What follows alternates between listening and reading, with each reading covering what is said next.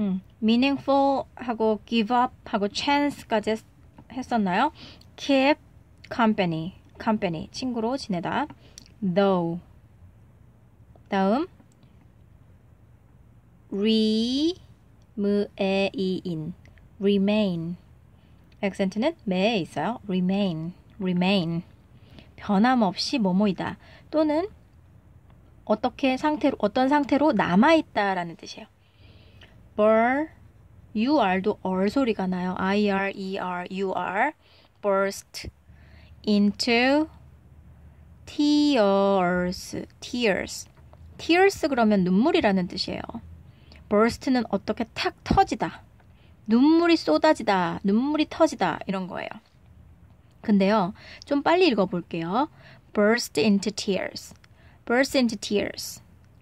스트가 잘 들리지 않아요. 되게 작아지거든요. burst into tears. burst into tears. 눈물을 터뜨리다. 취, 취, ear, cheer. 환호성을 지르다. cheer, 응원하다.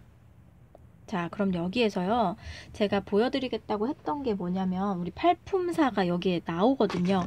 여러분 음, 영어 사전을 어떤 걸 쓰시는지 모르겠지만 영어 사전에 보시면요. 음, 한국어로 된 영어 사전도 그렇고 영어로 된 영어 사전, 영영 사전이죠. 거기를 봐도 그렇고요. 모든 사전에는 그것의 품사가 나와 있어요. 여기도 볼게요. secret이라는 단어는 명, 명이 뭐였죠? 명동형부, 명사. 그러니까 어떤 상황의 이름이죠. 내가 어떤 사람에게 절대로 발설하지 말아야 할 것. 그런 걸 우리는 비밀이라고 이름을 붙였어요. 그러니까 이것도 보이지, 보여지고 뭐 만져지지는 않지만 그런 상황에 대한 이름인 거죠.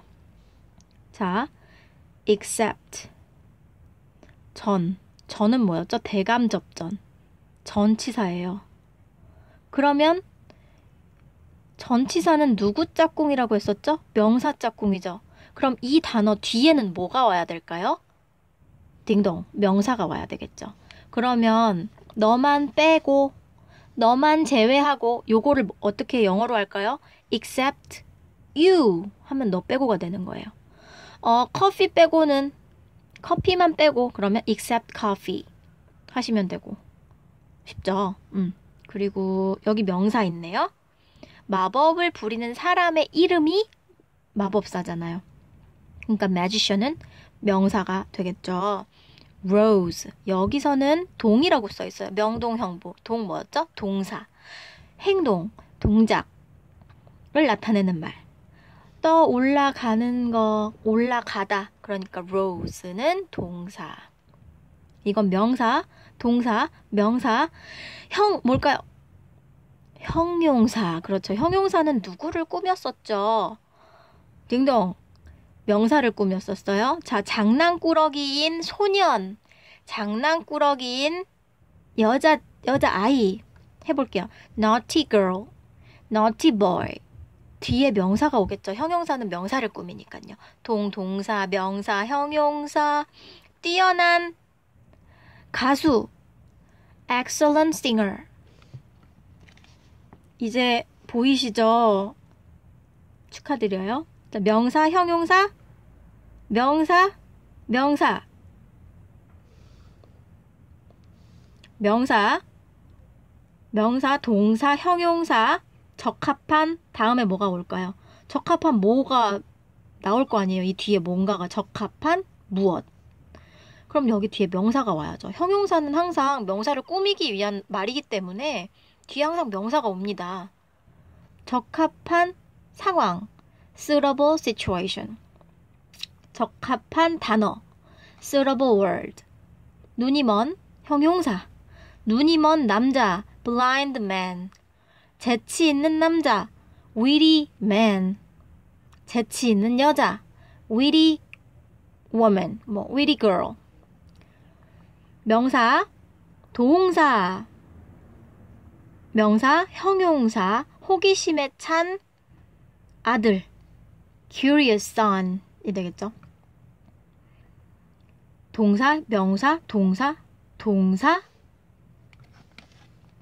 동사, 형용사, 의미 있는 말, meaningful words, meaningful words. 그리고 기회, 명사, 접속사, 접속사. 접속사는 언제 쓰는 거였죠?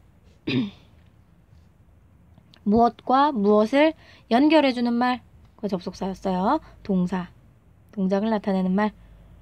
이렇게 사전이나 사전을 찾아보시거나 단어를 외우실 때요. 이것이 동사이고 명사이고 접속사이고 형용사이고 부사이고 이런 것들을 알아두시면 그 뒤에 나올 단어가 예상이 되세요. 그렇기 때문에 제가 팔품사 먼저 알려드렸던 거거든요. 음, 공부해 보시고요.